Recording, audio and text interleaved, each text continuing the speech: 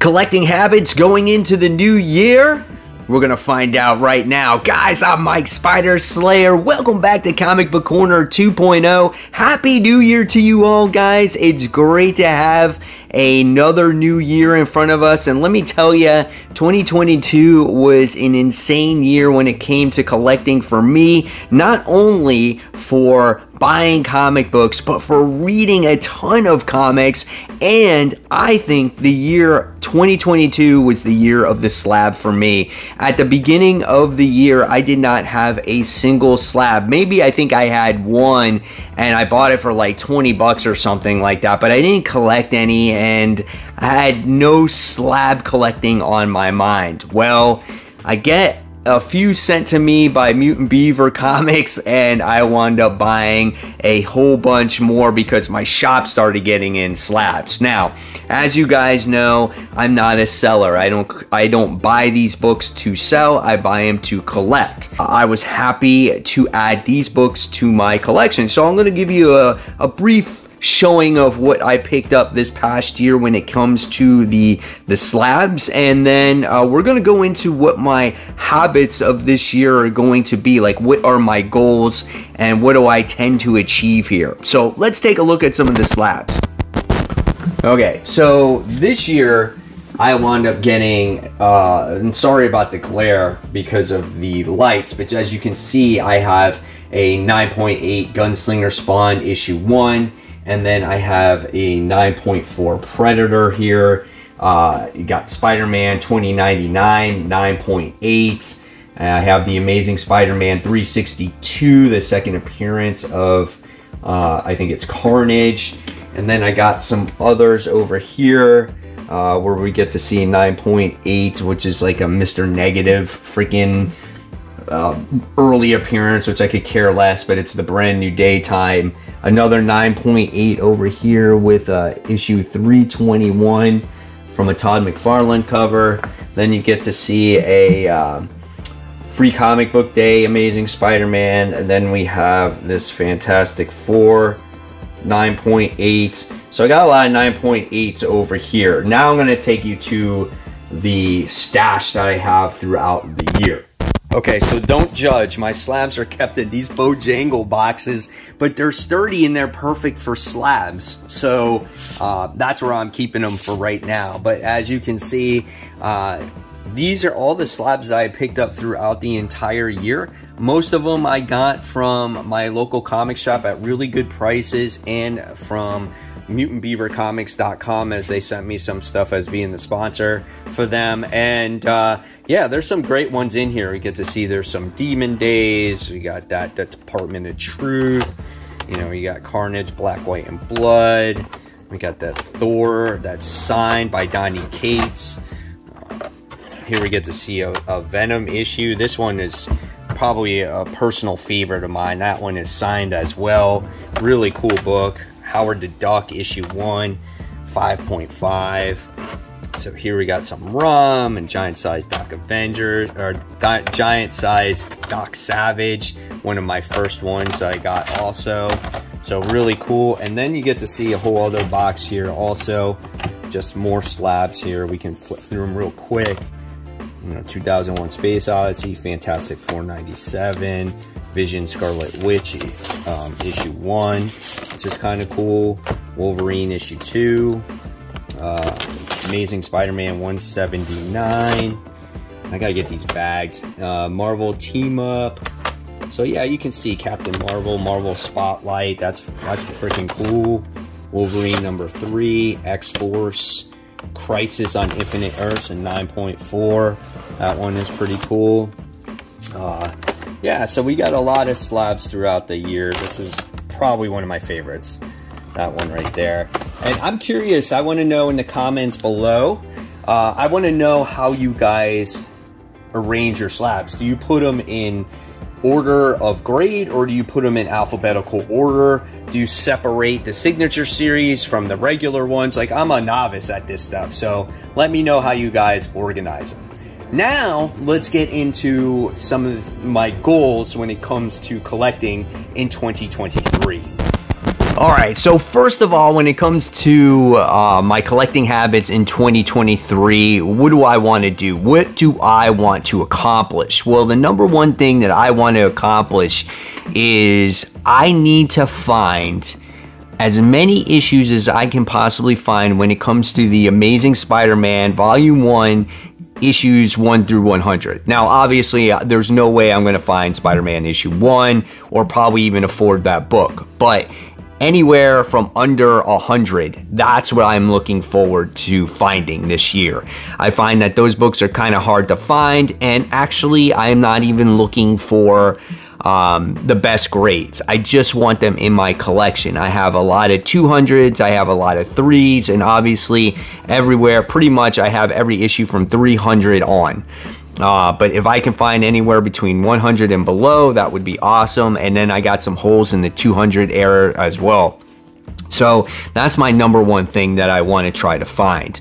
Number two, my next collecting goal is to try to get rid of the dead weight. I read a lot of comics every single week. Uh, there's times where I read probably about 20 comics uh, a week, and some of those comics are not that great.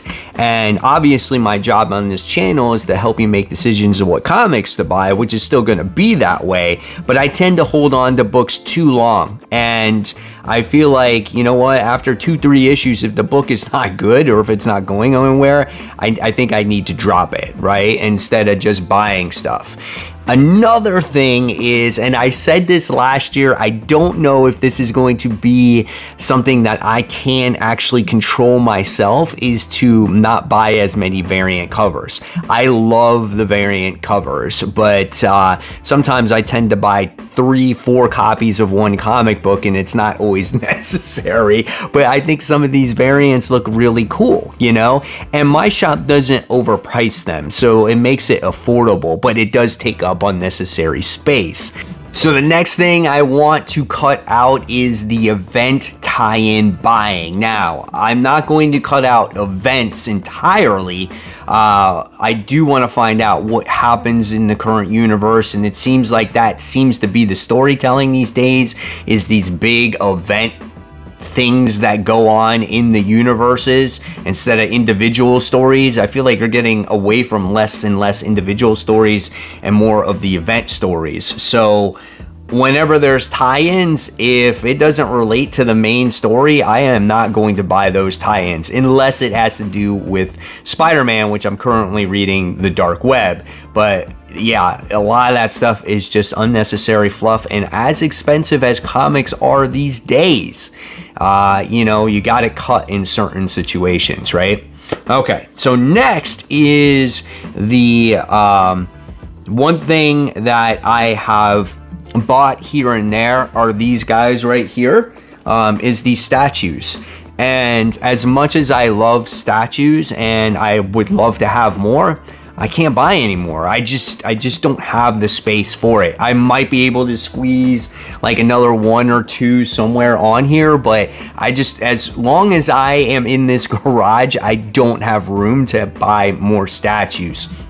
If I had a full room that was dedicated to me, I'd probably buy some more. But they're they're just too too much money one and number two is I just don't have the space so maybe in the future but it looks like this year I'm probably not gonna buy a single statue so that's another thing off my list Another thing that I love to buy, and unless I someone gives me one, you know, or wants the review wants me to review something, or whatever it is, or I get one for a great deal, is omnibuses. I don't have room for omnibuses. Um, I did buy quite a few. I think in 2022, I bought two or three or four or five omnibuses, and I love them. I love that collected edition where you can pick that up and read that all at any time, and you don't have to go through digging through back issues and things like that. I just don't have space for it. Again, it's just, there's no space on my shelves. I have about 10 Omnis and I have a whole bunch of other trades that are filled up. Maybe if I sell those trades, maybe I could get omnibuses instead. That might be something to look forward to. Um, but besides that, I, I can't fit it. But this cabinet over here that I have is filled with trades. So like I said, maybe if I sell those paperbacks, maybe I can buy some some omnibuses. Maybe that's a way to look around it, right? Let the hobby fund for itself. That's what everyone else says. So there's that. Um, and then the one last thing that I am going to continue to do when I see good deals on them and they're issues that I want is the slab buying. Now, I started buying slabs, like I said, in, in 2022, and in 2023, it's going to continue because every once in a while, my shop gets some pretty cool slabs they're a very affordable price. I think this week I have on hold for me a giant size Avengers issue one for 30 bucks. And it's it's not a great grade, it's a 4.5, but but why not have it in your collection, right? I, I think that would be pretty cool. And uh, whenever they have affordable slabs like that and uh, you know, stuff like this, like minor keys and stuff like that, I'll pick it up. You know, uh, I think they're cool. They're they're just a awesome thing to collect. And again, I'm not in it for necessarily the money or to sell these comic books. Uh, the only time I sell comics is when I have an annual garage sale in my neighborhood where I'll put everything together and stuff I want to get rid of of Purge, I will sell. I'm going to have another one in our next coming garage sale, which I don't know the date yet, but I'm going to have it. So there you have it. There's some of the things that are in my uh, collecting future, I should say, right? So I want to know in the comments below, what are your guys' collecting habits for 2023? What do you want to collect and what do you want to change? What are those goals? Uh, this topic was actually inspired in one of my members in my Facebook group. So I want to thank them for shouting, you know, for, uh, I guess, putting that idea in my head so I could do a video for this. And I'm so curious for what you guys are going to collect. So there you guys have it. Hopefully you guys have a wonderful new year. I'm to cross my fingers that my Dolphins win today. And uh, yeah. So there you guys have it. Happy New Year. As always, guys, if you love my content, you know what you got to do. You subscribe, hit that POW button, find other content to watch. And of course, guys, keep buying, keep collecting, but most importantly, always read those comics. It's been like two weeks since I did like a real video. So yeah, it feels weird. so guys, I'll see you real soon. Take care. Bye.